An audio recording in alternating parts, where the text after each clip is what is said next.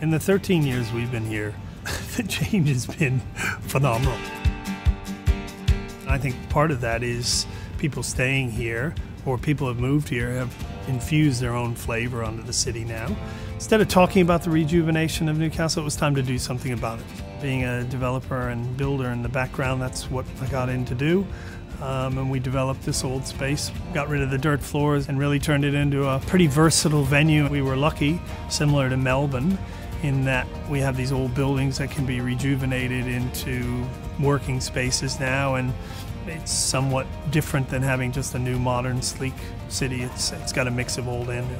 I think one of the great things in newcastle that uh, people don't even realize is that it nurtured culture and it nurtured craftsmanship. We've got a, an eclectic music scene an art scene a sculpture scene theater um, you have all those um, parts of culture that people really like to see, and, and, maybe you're not fighting an hour of traffic to get to them.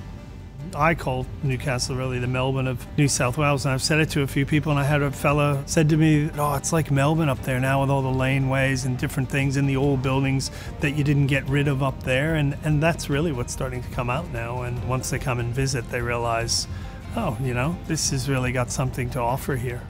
The laid backness comes through the fact that there's not that many people grinding to get places because of the traffic or the jam packed on the train or all of that I think creates a lot less stress. It's just the ability to walk around the city. So with the number of Eat Street precincts that we have here, Darby and King Streets become one, Beaumont Street in Hamilton is changing all the time, Honeysuckle Precinct, you've got places down near the water.